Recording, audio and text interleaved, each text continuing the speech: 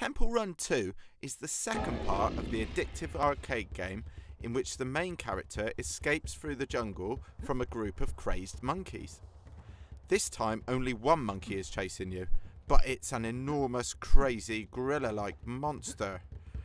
The game is really easy for all beginners. Immediately after starting Temple Run 2, you'll be given detailed instructions on how to jump, slide and turn without losing speed.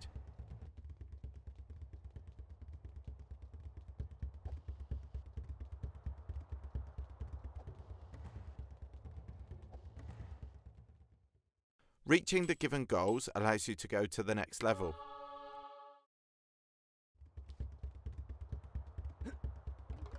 In comparison with the first part, Temple Run 2 has definitely improved its graphics. The landscape is more varied and it's constantly changing.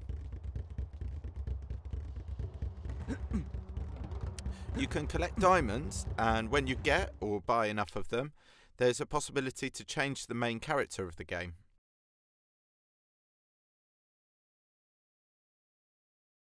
Temple Run 2 is an addictive arcade game in which you just can't stop running.